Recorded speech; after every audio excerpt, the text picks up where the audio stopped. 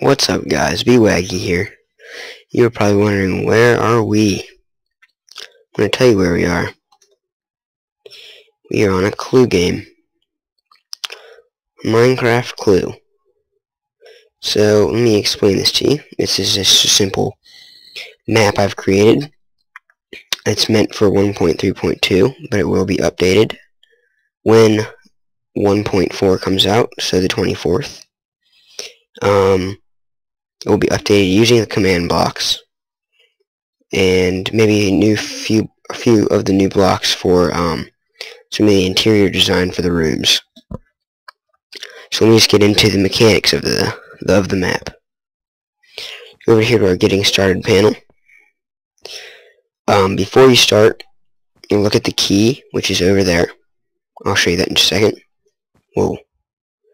And turn it to peaceful, which we are on. Um, so let's go over here to the key. So if you've ever played Clue, you know that it's a series of guessing, which leads to gaining hints, which leads to being able to solve the solution.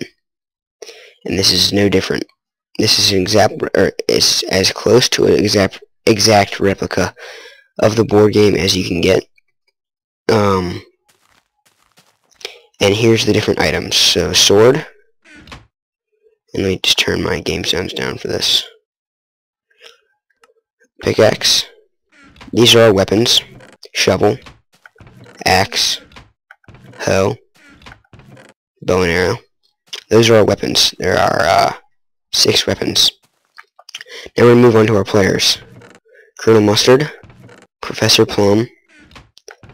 Mr. Green, Mrs. Scarlet, Miss White, Miss Peacock. Those are our players. Now there are um, one, two, three, four, five, six players, and I think there are uh, eight rooms. I think library, book, studies, paper, ballroom's a disc, the hall's a cobweb. Conservatory is a fern, because a conservatory is a place for growing plants. I did not know that until I researched it. Billiards room is a slime ball. Kitchen is a furnace. Lounge is a note block. And dining room is bread. So that's our rooms. We have uh, one, two, three, four, five, six, seven, eight, nine rooms. One, two, three, four, five, six, yeah, nine rooms. So if you if there's ever trouble during the game, you can go over there and look at your um at your key. So needed. You need three or plus players plus a game monitor. And I'll get into that in a second. Um, players cycle through the card dealer, which is right there, until card dealer is empty. You may have more items than others, which is, uh, I should probably replace that and make that card dealer is empty. Um,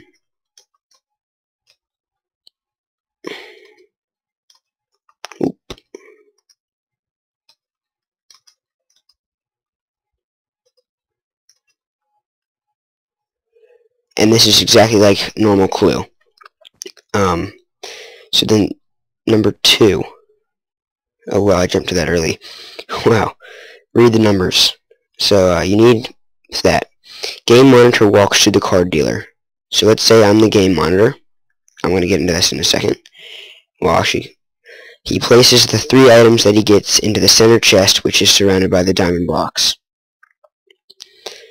Then the players cycle through the card dealer. So actually, I'm going to do this while I read it. So the game runner walks to the card dealer. This is the card dealer. He walks through here. He gets three items. So then he takes these items and brings them into the solution room and places them here. And only he knows these. He does not tell them to anyone else. That's the solution to the puzzle. So let's see. Miss Scarlet committed the crime using the bow and arrow in the lounge. That's essentially what that's saying. So now, the players cycle through there, one by one, until they're not getting anything else. So a player might have two player pieces. A player could have three room pieces. It doesn't really matter. Um, but no matter what, you have to go in in the same order. So if I were to walk through and another player was to walk through, when we came back around, I would have to walk through first and they'd have to walk through second. And that's just a fairness thing. Um, take your starting spot on the board. So before you start, you're going to pick which player you want to be. Um, so let's say I wanted to be, let's say I want to be Mr. Green. I would come around, so I want to be Miss Scarlet, it's the most convenient position. Right here, Miss Scarlet. So I have game markers, and I'll get into that in a second as well. You take your starting position on the board. So the three items in the placed in the chest are the solution to the mystery, as I told you earlier. Um, no blocks can be broken except game markers. Um, so I'll get into that in a second. Um, so the monitor must place items in chests without anyone seeing the items, as I explained earlier. Okay. Game rules. Press button to roll dice. The corresponding color corresponds, or the color corresponds to the number. I'll get into that in a second. Um, down here is hint. Each corner room has a secret passage. No, actually, let me just read these rules. Directions of movement. Forward, backwards, right, and left. No diagonal. You can't land on the same space twice in one turn. When a player is inside a room, they make an assumption. This includes who, what, or who, using what, and where. This must be room you are currently in. So, using what, or where, must be the room that you're in.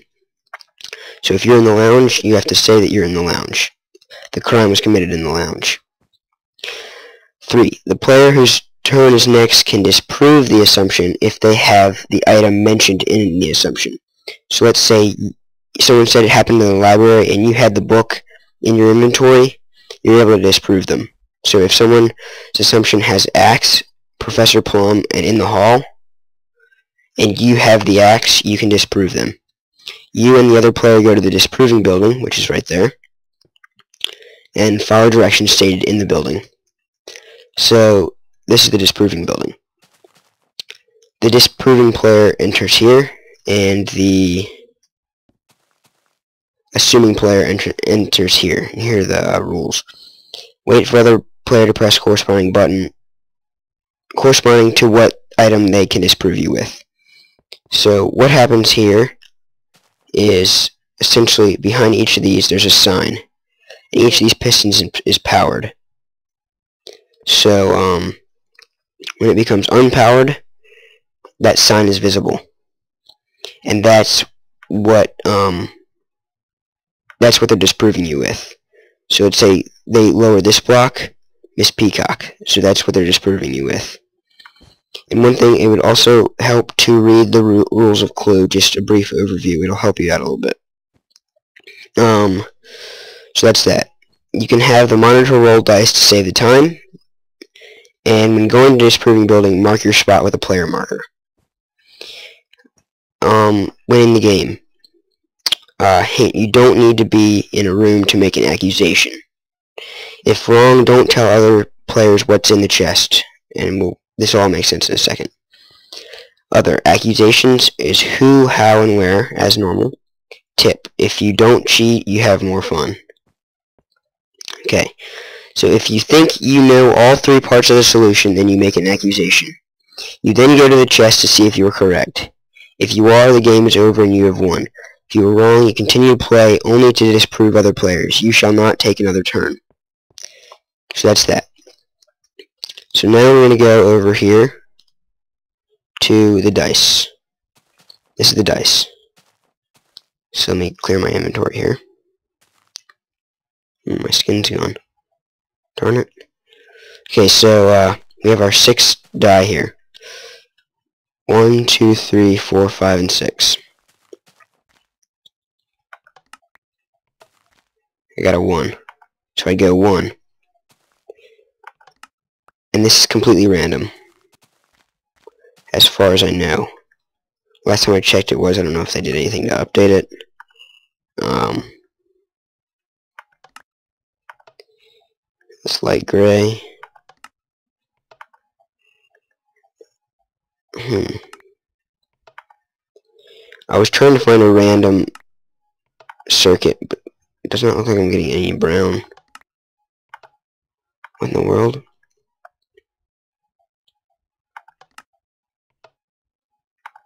This is being weird.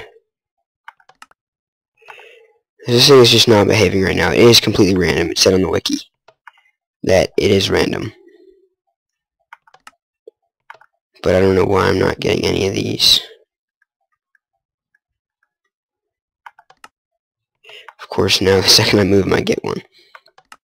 So if there is variation, or if there is no variation in it, have the game monitor just move the piece. But I'm still have yet to get any green or brown.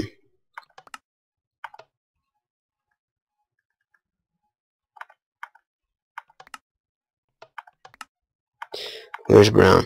Anyway, this is random. Take my word for it. You can check the wiki if you want to. So that's your corresponding number. So, um, then, so let's say I was Miss Scarlet. I would, um, have my game pieces on me. So let's say I was going to make go make an accusation or an assumption. And let's say I was right here for that assumption. I put down a player marker and then go. So I can easily get back. If that makes sense. It's just for convenience thing. Um so everyone has their own game markers. Here are the rooms. They're all quite boring. Then here's the secret passageway. It always leads diagonal. So this will bring you up to somewhere with no ladders. It's a good thing I've uh, doing this right here because um, putting this map up for download would not have been a great idea.